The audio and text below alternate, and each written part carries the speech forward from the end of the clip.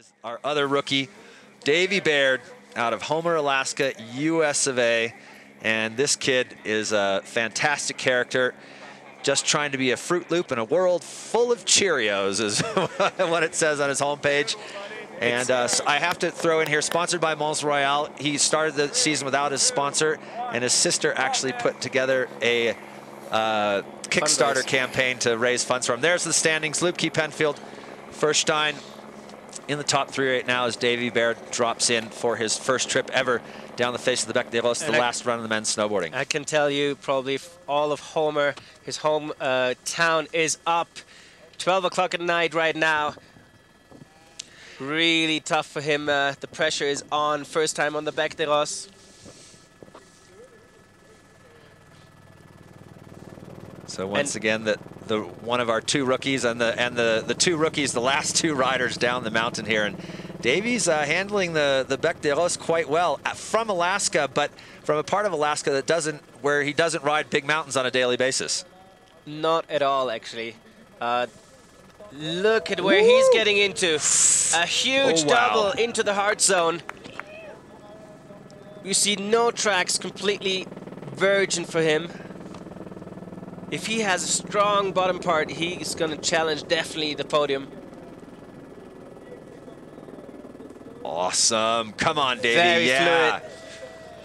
Whoa, he's stoked, claiming it before he's even off the bottom of the face, and he now he's on his way to the finish line. So a fantastic first run down the face of the Bec for the rookie out of Homer, Alaska, Davey Baird. What a way to finish his season. He had two podiums, third place at the Chamonix event restage in Andorra, third place in Haines, and look at that line from the rookie. Oh yeah, that First I thought he's going to go uh, towards the line of Sammy Luebke through the dogleg, but then he changed over the shoulder into that hard zone where there is a beautiful double to offer. It's a mandatory air. He told me about it. He actually even thought of doing it a triple, which I haven't seen any snowboarder do yet. Only saw um, Julien Lopez did the triple a few years ago, and uh, maybe I talked him out of it because he gets so much speed out of it, and he did, but he controlled it so well. Well, that was absolutely fabulous as we take a look back at the replay. The only little error in his entire run was probably right there. A little slip up, look at a face check into that double there. Awesome. And we look at the judging criteria on the screen. There's lots of green there.